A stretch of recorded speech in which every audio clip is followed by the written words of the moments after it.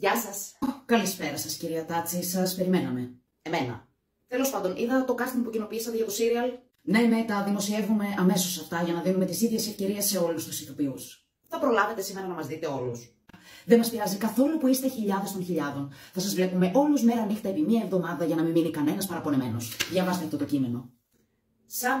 Α, μπράβο, μα τι ταλέντο. Μα δεν μίλησα. Ε, πώς να φαίνονται αυτά, έχετε άστρο. Λοιπόν, έχουμε ένα ρόλο για εσά, είναι ο πρωταγωνιστικός. Πείτε μας πόσα χιλιάρικα θέλετε και το κλείνουμε τώρα.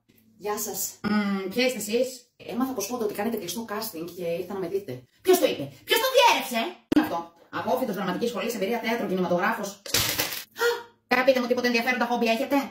Πιάνω. Ναι, όπως το πιάσατε, αφήστε το. Ενώ αν τρέχετε στις μύτες πάνω σε καρδιά, εάν περπατάτε με ξυλοπόδαρα σε μαραθώνιο, εάν χορεύετε κλακέτε, τέτοια πράγματα.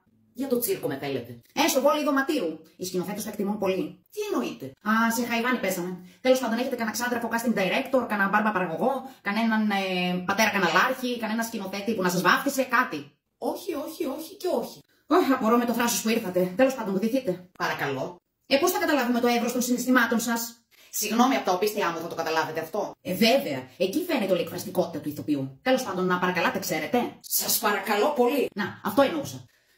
Περιμένετε, μην φεύγετε. Έχουμε ένα ρόλο καταπληκτικό για εσάς. Θα κάνετε την κοπέλα που φέρνει τον καφέ. Τζάμπα!